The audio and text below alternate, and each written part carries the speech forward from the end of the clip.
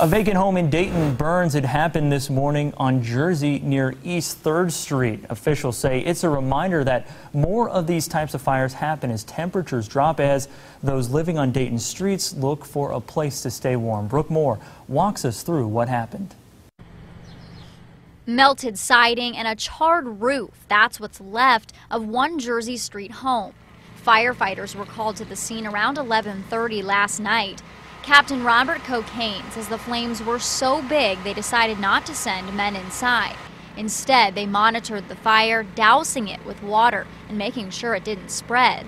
But the houses on this street aren't far apart, and the fire caused light damage to the house next door.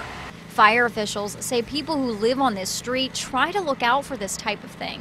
The neighbors around here, the, one, uh, the ones that's been here for a while, they pretty much keep an eye on the neighborhood, but you can't see everything. He says now that it's colder, these empty houses can become a shelter for people who otherwise would be sleeping outdoors. You know, we have a lot of vacant structures in the city of Dayton uh, that, that, homeless people get in and live in in the wintertime, and uh, this is possibly what was go what's going on in this house right here. Fire officials consider this a suspicious blaze. Arson investigators will be looking into what caused it. Brooke Moore, 2 News, working for you.